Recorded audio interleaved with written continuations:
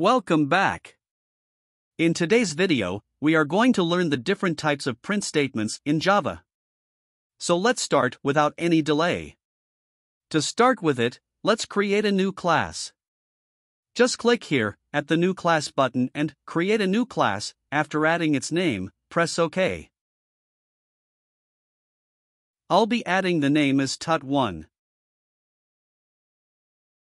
First, I will maximize the window and then.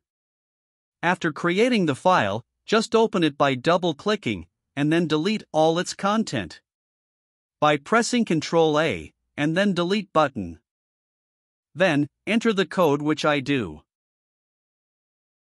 Write class and then the name of your file, and by adding brackets press enter. Then enter public static void main string args followed by brackets. The following code, which I gave, will be same for all my videos. Now I introduce you with print statements. There are total 4 types of print statements in Java, 2 will discussed here, and 2 later. First there is system.out.println. This statement adds a new line after printing the text. Then there is system.out.print. This statement adds no line after printing the text. Let's run the program and see the output.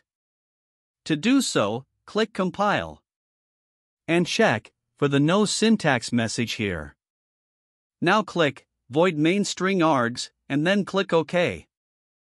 As you see, after the first hello and welcome back there are new lines, but after the second hello and welcome back there are no new lines. Hope you liked the video, and thanks for watching.